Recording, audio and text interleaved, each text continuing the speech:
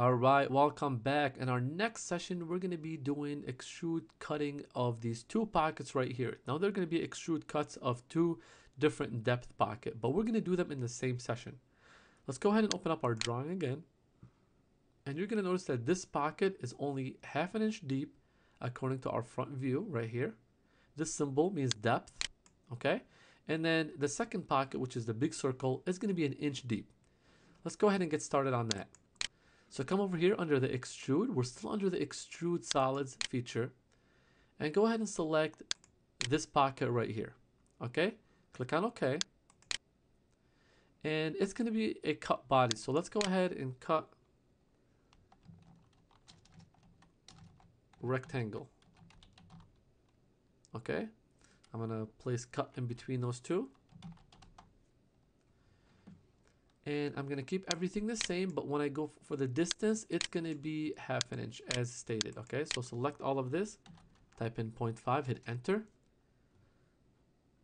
Okay now if you don't see anything cut always go up and make sure that you have the right type selected. In my case I forgot to select cut body so I'm gonna click on cut body and as you can see now the preview is correct.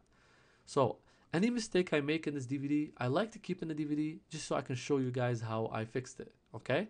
So I forgot to click on cut body and then I had to go back and see, you know, why didn't my preview not show when I selected half an inch?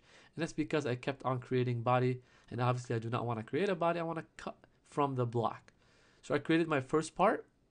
Now if I like this, all I have to do is click on OK and create new operation. So click on OK and now it's a new operation. For my new operation, select the circle and click on OK. Okay, so I'm going to do extrude cut circle. I'm going to make sure I click on cut body this time. And I'm going to scroll down here and I'm going to select one inch.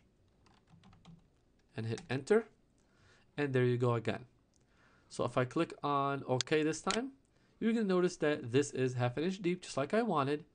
And then this is an inch deep. If I want to go back and double check it, could just go back to your model in the drawing and you will see that this looks right and this looks about right as well.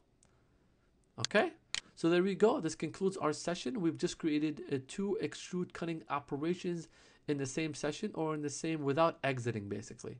And that's how you do that. So if there's a lot of different cuts that you want to make, uh, this is a very nice feature to keep just clicking on OK and create new and you can keep creating new extrusions, either cutting or bosses or bodies, uh, while remaining under the extrude solid feature.